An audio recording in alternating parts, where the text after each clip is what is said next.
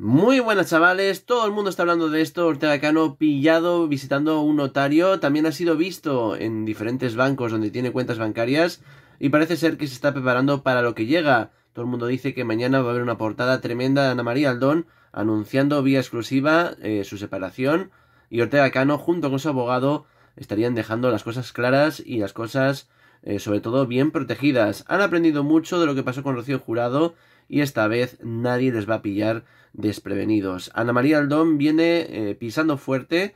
Ya escuchábamos por la mañana las declaraciones de su madre cuando estaba bien, hace unos años, hablando de que no se creía cómo era posible que Ana María se hubiese quedado embarazada a los dos meses de empezar con Ortega, o como por ejemplo Ortega Cano no quería que fuera supervivientes y Ana María quiso ir, ¿no? Demostrando que tenía ganas de notoriedad.